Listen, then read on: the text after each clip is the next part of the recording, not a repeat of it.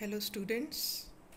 I hope you all are staying safe with your family amongst this corona fear and pro- uh, following proper guidelines issued by safety system, health safety system. Like you people are wearing masks while stepping outside. You are you are washing your hands regularly with soap or sanitizer. Then you have downloaded Kova app then you are maintaining social distancing. Then uh, you are uh, while sneezing you are covering your face and others. ये guidelines बेटा सिर्फ़ खुद ही नहीं follow करनी है। अपने आसपास भी सबको बोलना है कि ये गाइडलाइंस फॉलो करो। अपने नेबरहुड में अपने पड़ोसियों को अपने घर में सबको सबको इंसिस्ट करना है कि ये गाइडलाइंस फॉलो करो। तभी हम कोरोना को डिफीट कर पाएँगे। All right So, starting with today's lecture, I'll be taking up basics of management. Code of this subject is 9520. First chapter is Principles of Management. Now, what is management? Management का क्या मतलब है suppose हमें कोई भी काम assign किया जाता है तो उस काम को किस तरीके से करना है that is management so uh, different scientists have proposed different definitions for this. One of the, them is management is the process of designing and maintaining an environment in which individuals working together in groups efficiently and effectively accomplish selected aims. तो बेटा ये इसमें है कि suppose हम कोई अभी जब हम जैसे बॉम्ब के लिए अगर बात करेंगे तो हम we will be talking in terms of organisation किसी भी ऑर्गेनाइजेशन की का कोई भी टास्क जो है वो हमने कैसे मैनेज करना है। अब सबसे पहले कोई भी ऑर्गेनाइजेशन कोई भी कंपनी होती है, उसके कुछ ना कुछ ऑब्जेक्टिव्स रहते हैं, जो उसने टाइम टू टाइम अचीव करने होते हैं। These objectives can be monthly these objectives can be yearly these objectives can be weekly so how these task how these objectives are accomplished is management तो in first definition I have highlighted two words words and effectively. these two are magic words of management we'll be discussing them shortly i have written another definition management is the art of knowing what you want to do and then getting it done in the best way with available resources अब यहाँ पे ध्यान देने वाली बात क्या है getting it done खुद नहीं करना है दूसरों से करवाना है ठीक है but getting it done in the best way with available resources available resources I have again return with other colour means I am putting emphasis on this available resources का क्या मतलब है कि हमारे पास क्या क्या चीज़ें अवेलेबल हैं? जैसे हमारे पास हमें कितने पर्सनस मिले हुए हैं काम करने के लिए? हमें मशीनरी कौन कौन सी मिली हुई है? हमें टाइम कितना मिल रहा है? हमें एक्सपेंडिचर कितना अलाउड है? हमें बजट कितना अलाउड है? तो ये काम करने के लिए हमें क्या क्या चीज़ें अलाउड है? तो this is management next we have, now i have already told you there are two magical words, efficiency and effectiveness when we talk of. Management. Now what is efficiency? Efficiency is getting maximum output from the least amount of input. Means आप अपना काम जो है वो कर रहे हो और उसमें से जितना मैक्सिमम निकल सकता आउटपुट वो निकाल रहे हो। जैसे सपोज़ हमें कोई काम असाइन किया जाता है तो अगर वो काम आ, दस लोग करते हैं तो वो काम हो जाता है। अगर बीस लोग करते हैं तो बहुत अच्छे से हो जाता है। बहुत ही उसके मतलब उसके रिजल्ट्स बहुत अच्छे आते हैं। पर अगर हम दस लोगों के साथ भी बीस लोगों वाला इफ़ेक्ट ले आते हैं तो we are doing that work very efficiently इस यही ज़रूरी नहीं है। ज़रूरी ये है कि मतलब दस लोगों के साथ भी जितना मैक्सिमम बेस्ट हम कर सकते हैं, हम वो करें।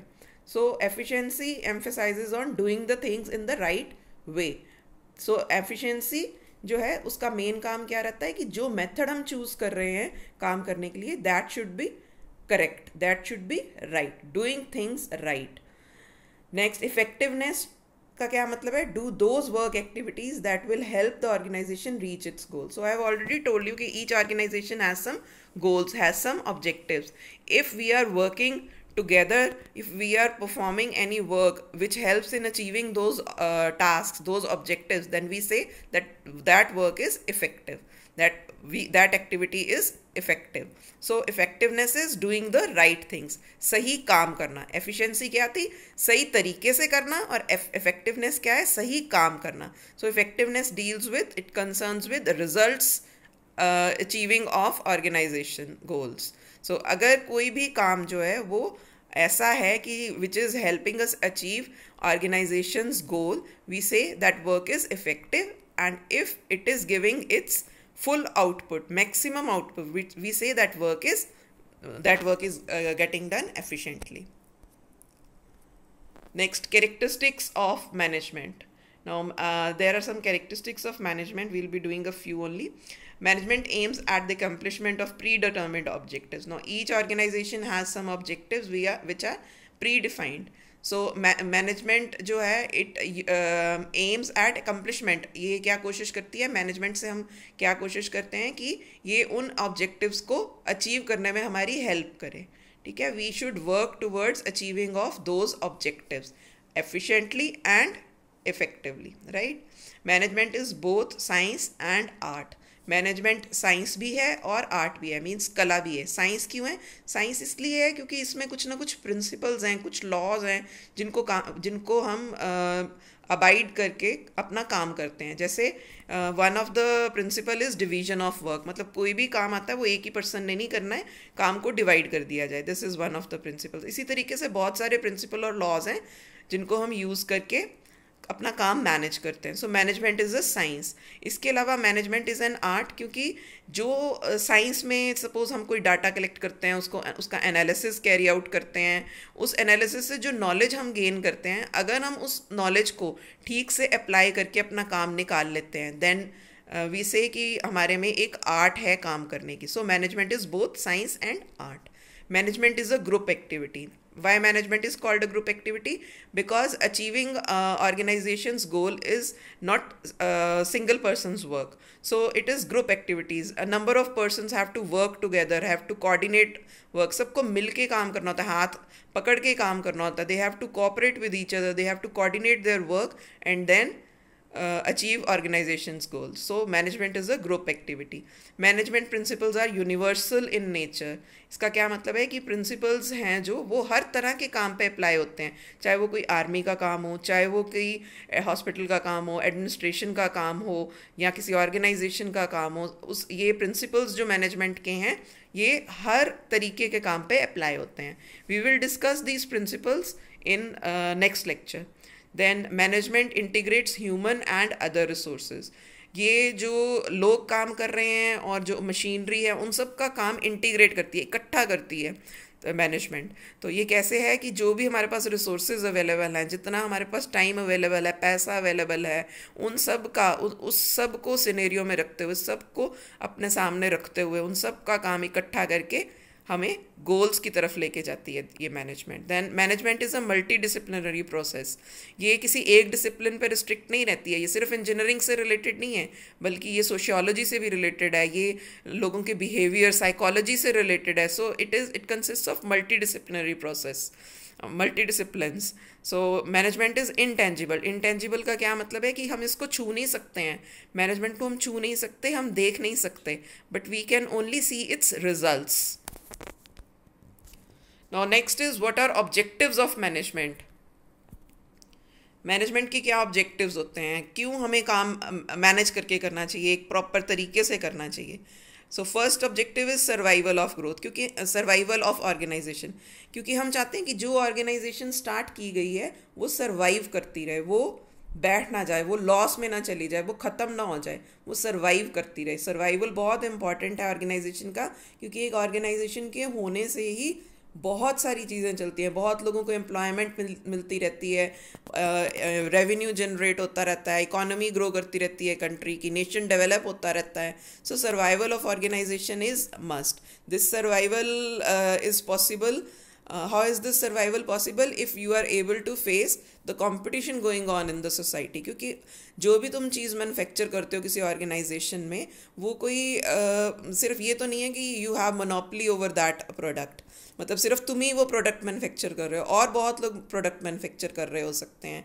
तो अगर तुम उनके साथ कॉम्पीट कर पाते हो उनकी प्राइसेस के साथ कंपेयर uh, करके अपनी प्राइसेस रख पाते हो तो then only you can survive in the organisation उनकी जैसी क्वालिटी भी देनी है उनकी जैसी कॉस्ट भी देनी है तभी तुम सर्वाइव कर पाओगे अगर तुम उनके साथ उनके जैसी क्वालिटी और उनकी जैसी कॉस्ट दोगे। Next is growth of organization अब ग्रोथ कैसे होती है ऑर्गेनाइजेशन की? If you expand your organization diversify modernization all these leads to growth of organization expansion का क्या मतलब है?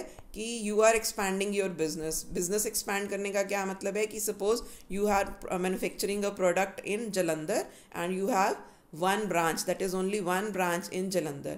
so you expand your business and open one another branch in ludhiana then you expand your business further and open another branch in delhi so this is expansion of business you are manufacturing a particular product only and increasing your number of branches diversification का क्या मतलब है कि you are manufacturing one product then you later on start manufacturing another product दो product manufacture करने शुरू कर दिए दैन तीन प्रोडक्ट मैन्युफैक्चर करने शुरू कर दिए just as Reliance Reliance is dealing with many businesses it is into clothes also into petroleum also so many products is dealing another example is Tata Tata is dealing with motors also Tata coffee is also that salt is also there Tata Steel is also there. So this is diversification. You are manufacturing one product, you start manufacturing another product. This is diversification. Expansion is you grow your number of branches, but you are dealing in one product only.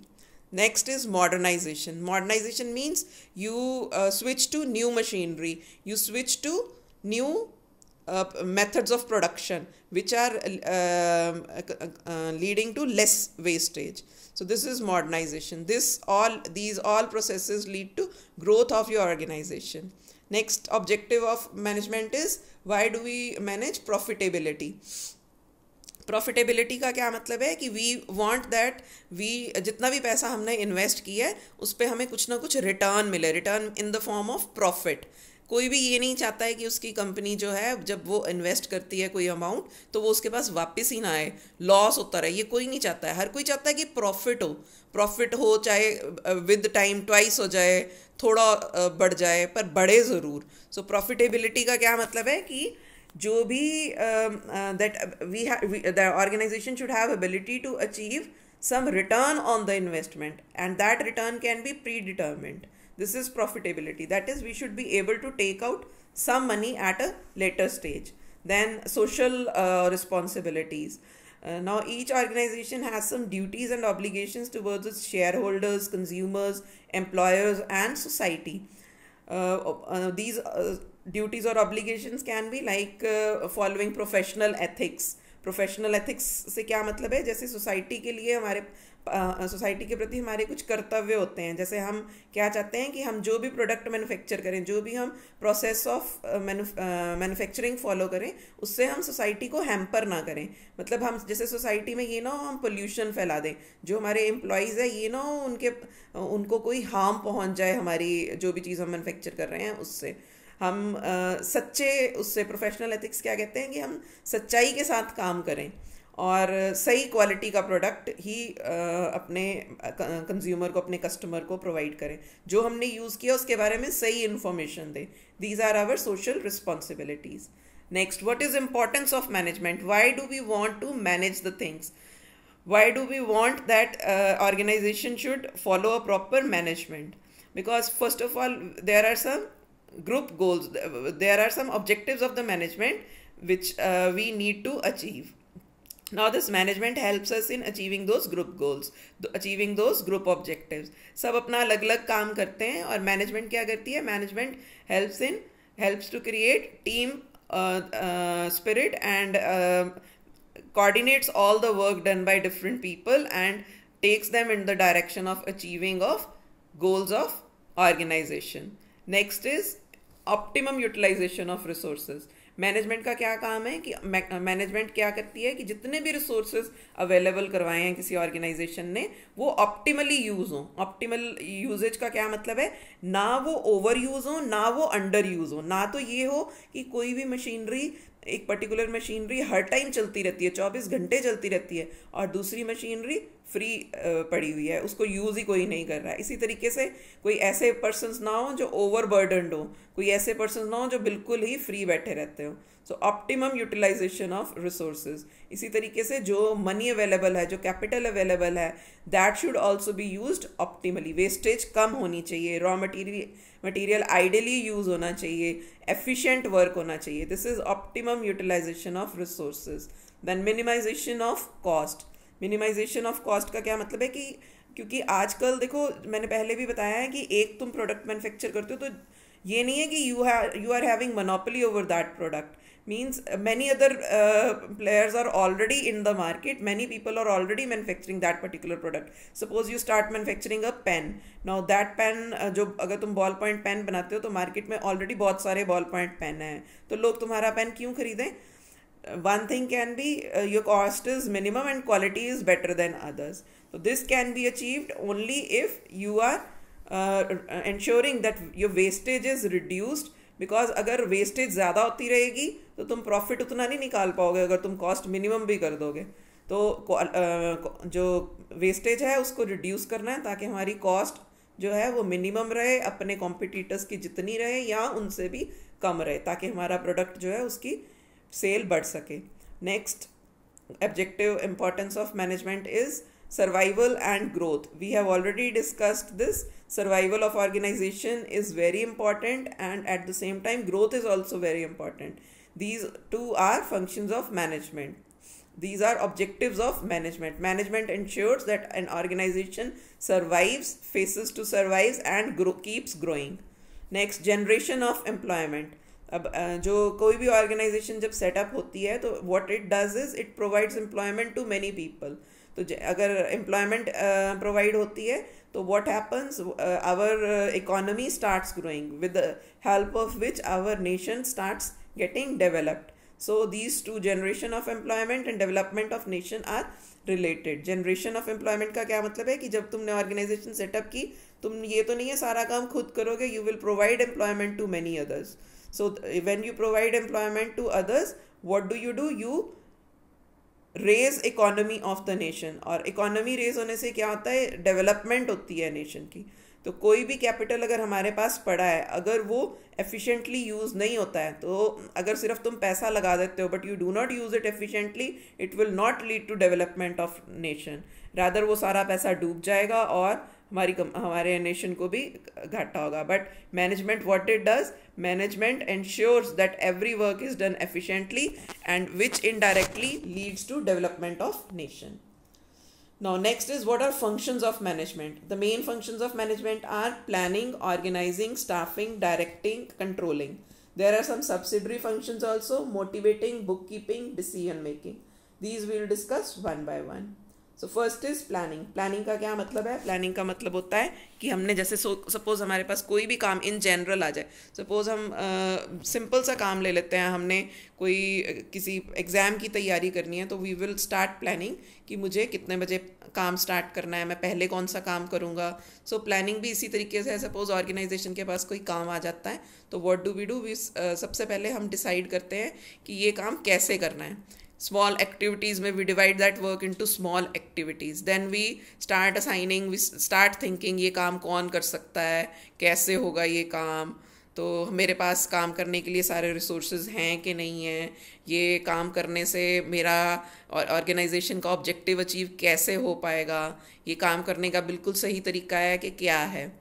ठीक है? So this all is planning so planning is determining the objectives and formulating the methods to achieve them it is more simply said that than done मतलब planning बहुत ध्यान से करनी पड़ती है, क्योंकि a job well plan is half done अगर planning अच्छी हो तो काम बिल्कुल सही तरीके से हो जाता है। बट अगर प्लानिंग कहीं गड़बड़ हो जाए तो काम में भी गड़बड़ होने के चांस हो जाते हैं। तो during planning one needs to ask oneself what am I trying to accomplish मैं क्या करना चाहता हूँ? मेरा ऑब्जेक्टिव क्या है? What resources do I have and what and what do I need to accomplish the goals? मेरे पास क्या चीज़ें अवेलेबल हैं और मुझे क्या चाहिए, और कुछ चाहिए मुझे ये काम करने के लिए? ये इतना सफिशेंट है जो मेरे पास है। What are the methods and means to achieve the objectives मैं कौन से मेथड फॉलो करूँगा ताकि मेरी कंपनी के ऑब्जेक्टिव्स भी मीट हो जाएँ? और क्या इज़ दिस ऑप्टिमल पाथ क्या ये तरीका बिल्कुल सही है ये काम अचीव करने का? या कोई इससे भी बेहतर तरीका है? Next is steps in planning. Some steps in planning are determine the goals or objectives for entire organization. तो ऑर्गेनाइजेशंस के के गोल्स देखने हैं हमें कि क्या हैं ठीक है उसके बाद depending on those goals we are to make assumptions on various elements of environment सबसे पहले जैसे गोल हो सपोज़ किसी कंपनी का कि मुझे इस बार टॉप टेन कंपनीज़ में स्टैंड करना है अपनी सिटी की तो depending upon that we have to make assumptions कि ये हमें अचीव करने के लिए क्या करना होगा। हमें किस महीने में कितने दिन काम करना होगा। हमें फ़र्स्ट मंथ में कितना काम कंप्लीट करना होगा। कितनी टर्नओवर लेके आनी होगी। ये सारी हमें एजम्पन्स लगानी पड़ेगी। उसके अकॉर्डिंग हमें प्लानिंग करनी पड़ेगी। Decide a planning period then हमें वो अचीव सारी चीज़ें अचीव करने के लिए डिफरेंट कोर्सेज ऑफ़ एक्शंस देखने पड़ेंगे। कैसे कैसे हमें ये अचीव करना होगा। देन इवेलुएट दोज ऑल्टरनेटिव हमें देखना होगा कि वो काम हो भी सकते हैं, जैसे हम सोच रहे हैं, वैसा हो भी सकता है कि नहीं? Then real point of decision making means decide करना है कि हो सकता है कि नहीं हो सकता। अगर हो सकता है तो अगर बहुत सारे मेथड है तो उनमें से कौन से मेथड को हमने चूज़ करके अपना काम करना है? Then to make derivative plans तो जो मेथड हमने चूज़ किया है, उसके अकॉर्डिंग हमें अपने प्लानिंग अपनी स्टार्ट करनी है कि कौन ये काम कैसे करेगा कितने टाइम तक कितना काम होगा कित नेक्स्ट काम कब होगा इसके बाद क्या काम होगा ये सारी हमने प्लानिंग करनी है these are different steps of planning then next function of management is organizing organizing means understanding what resources do i have मतलब मेरे पास क्या क्या available है and putting these resources to optimum use for achieving the goals अब मैंने resources पहले भी बताया है resources का क्या मतलब है resources का मतलब है कि मेरे पास लोग कितने अवेलेबल हैं काम करने के लिए? मेरे पास मशीनरी कौन कौन सी अवेलेबल है? मेरे पास टाइम uh, कितना है? कितना टाइम दिया गया मुझे गोल अचीव करने के लिए? और मेरे पास मनी कितनी अवेलेबल रहेगी? तो ये सारे रिसोर्सेज हैं। ये मुझे समझना है कि मेरे पास कितने रिसोर्सेज हैं और इनको ऑप्टिमली यूज़ करना है। ये नहीं कि अगर मेरे पास आ, पैसा अवेलेबल है तो सारा का सारा एक ही बारी में लगा देना है। ऑप्टिमली यूज़ करेंगे तो हमें फ़ायदा रहेगा। वेस्टेज रिड्यूस होती रहेगी। सो ऑर्गेनाइजिंग में हमें बेसिकली क्या करना है? Determine what is to be done and divide the work among the people सारा काम डिवाइड कर देना है कि तूने ये काम करना है, तूने ये काम करना है, ये काम करना है, हर एक को असाइन कर देना है। डिपार्टमेंट वाइज असाइन कर देना है। Departmentalization also we are to discuss then we are to decide how much authority to designate means किसको कितनी अथॉरिटी किस, किसके पास कितनी पावर रहेगी? कौन डिसीज़न ले सकता है? ठीक है decide the levels at which decision are to be made whether the decision can be taken centralize और decentralize centralize means only one person will make decisions of all type. Decentralization means different people will take different types of decisions. Suppose हमें कोई transport से related decision लेना है तो centralisation का मतलब है ट्रांसपोर्ट से रिलेटेड डिसीज़न भी वही पर्सन लेगा। रॉ मटेरियल खरीदना है अभी कि नहीं, ये भी एक ही पर्सन बताएगा। किसी को छुट्टी देनी है कि नहीं देनी वो भी वही पर्सन बताएगा।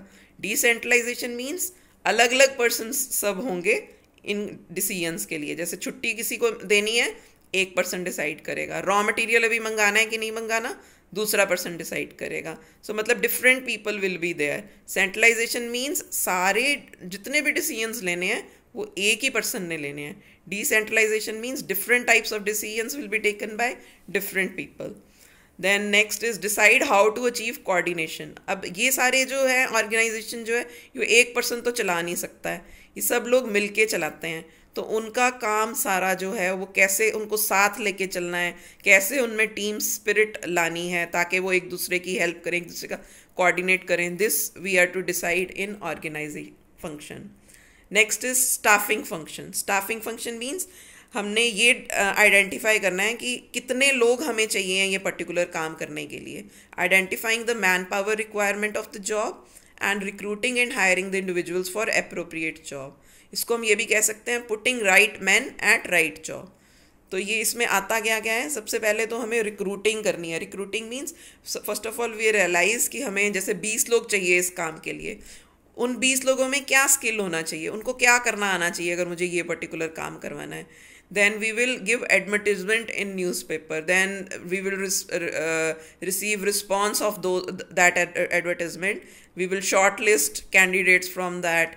Then we will conduct an interview and select proper person for that job. So uh, selecting that person then he will join so we hire different individuals for appropriate job. Then after that after hiring a person we train them. We train them according to our organization train them according to our organization, right? Then directing. Directing functions का क्या मतलब है? Showing direction to the employees and leading them. अब लोगों को तुमने काम बता दिया कि तुमने ये काम करना है, पर उनको पता नहीं है कि ये काम, ये गोल मैंने कैसे अचीव करना है। उनको कैसे पता ना उनको टाइम टू टाइम तुमने मेंटर करना है, तुमने रास्ता दिखाना है। You are to guide them ठीक है? उनको मोटिवेट करते रहना है कि yes you can do it तो सो फ़र्स्ट डायरेक्टिंग में क्या है? Provides positive and dynamic leadership तो एक लीडर का काम हर टाइम क्या है? मोटिवेट करते रहना और कोई भी अगर लड़ाई झगड़ा हो जाता है डिसिप्लिन क्रिएट करके रखना, कोई लड़ाई झगड़ा हो जाता है तो उसको प्रॉपरली सॉर्ट आउट करना।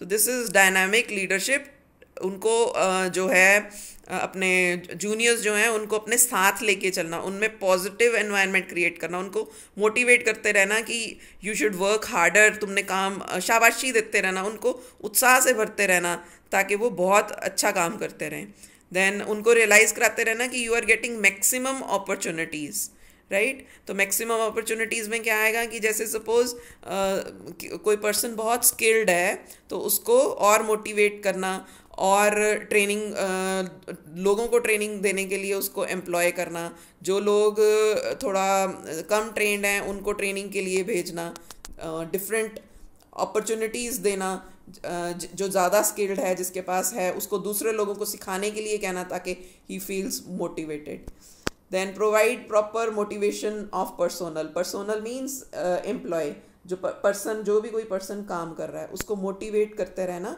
कि yes you can do it बहुत अच्छा काम किया, आगे और इम्प्रूवमेंट करो। तो अगर कोई पर्सन डीमोटिवेट हो जाता है, कोई उसकी फैमिली प्रॉब्लम है listen to that family problem so like this direct him guide him teach him to achieve object objective of organization then ability to command people command people means direct them और give them duties controlling controlling is very important function of management controlling का क्या मतलब है? किसी भी time पे अगर हमें ये लगता है कि जैसे हमने काम शुरू करना किया और हमने प्लान बना लिया तो प्लान जिस तरीके से बनाया हुआ है, हमने सोचा हुआ है कि फिफ्थ फाइव डेज़ के बाद हमारा काम यहाँ स्टैंड करना चाहिए। बट फाइव डेज़ के बाद क्या होता है कि हमारा काम उतना नहीं हुआ, हमारा काम थोड़ा सा पीछे चल रहा है। तो कंट्रोलिंग का क्या मतलब रहेगा कि हमें चेक करना है कि हम इसको वापस अपने पाथ पे कैसे लेके आए। The work has deviated from its path so we are to bring back to its right path तो वो कैसे ला सकते हैं?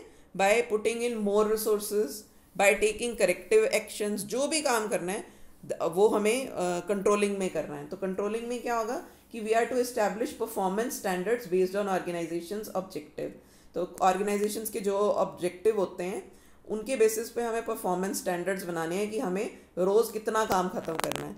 तो अगर रोज़ उतना काम नहीं ख़त्म हो रहा है मतलब नेक्स्ट पॉइंट क्या है? Measuring and reporting actual performance of the employ तो उसके बाद हमें मैयर करना है कि रोज़ कितना काम ख़त्म हो रहा है और उसको नोट डाउन करना है। अगर रोज़ उतना काम नहीं ख़त्म हो रहा है compare comparing the two means comparing कि कितना काम ख़त्म हो रहा है कितना होना चाहिए। परफॉर्मेंस स्टैंडर्ड कितना है और एक्चुअली कितना हो रहा है। इन दोनों को कंपेयर करना है। अगर इनमें काफ़ी डिफरेंस है then you are to take a corrective action if needed other ठीक तरह चल रहा है देन कंट्रोलिंग फ़ंक्शन जो है that will not come into force but otherwise you have to take controlling action Then there are subsidiary functions. These go side by side with every main function, like motivating. At every step you have to motivate your employees. उनको बार बार उत्साह उनका बढ़ाना पड़ता है. Yes you can do it करते रहो. शाबाश. बहुत अच्छा कर रहे हो. शाबाशी देते रहना. This is motivating book keeping का क्या मतलब है? Book keeping means documents maintain करना। अब डॉक्यूमेंट्स मेंटेन करने का क्या मतलब है? जैसे नोट डाउन करना, कौन किस काम में अच्छा है, किसने कितना काम आज किया, आज ये वाले इस पर्सन ने ये वाली ट्रेनिंग ली है, इस पर्सन का ये स्किल अच्छा है। ये सारे डॉक्यूमेंट्स मेंटेन करने। इसको मैंने इतनी सैलरी दे दी है, इसने इतने घंटे आज लगाए हैं ओवर टाइम इतना लगाया this all is book keeping या जो भी प्लानिंग तुम कर रहे हो, उसको भी रिटर्न में मेंटेन करना in the form of Gantt charts and all so this all is book keeping then decision making क्या, का क्या मतलब है? डिसीज़न मेकिंग मतलब हर, जैसे तुमने एक डिसीज़न लेना है पाथ पे, हर पाथ पे डिसीज़न लेना है। जैसे प्लानिंग फ़ंक्शन है, तुमने प्लानिंग फ़ंक्शन में डिसीज़न लेना है कि इसके बाद मैंने क्या करना है। पहले ये करना है कि ये करना है। ये काम कैसे करना है? इस काम को छोटी छोटी एक्टिविटीज़ में कैसे डिवाइड करना है? So this is decision making in planning इसी तरीके से आगे तुमने जब ऑर्गेनाइजिंग करना है तो ये सारे सब, किसको क्या ड्यूटी असाइन करनी है, सबका काम इकट्ठा कैसे करना है, सबको साथ लेके कैसे चलना है, ठीक है? This all is decision making controlling में भी आ जाएगा कि अगर मेरा काम अब डेविएट हो गया, अगर जो मैंने पाथ चूज़ किया था ऑप्टिमल पाथ चूज़ किया था, ये काम अचीव करने के लिए if I have deviated from that path तो इसको राइट right पाथ पे कैसे लेके आना है? This is decision making So all these three go on side by side. So these all are subsidiary functions. So this is all about uh, functions of management and this is all about today's lecture. I hope you have understood everything. If there is any doubt, you can contact me. Thank you.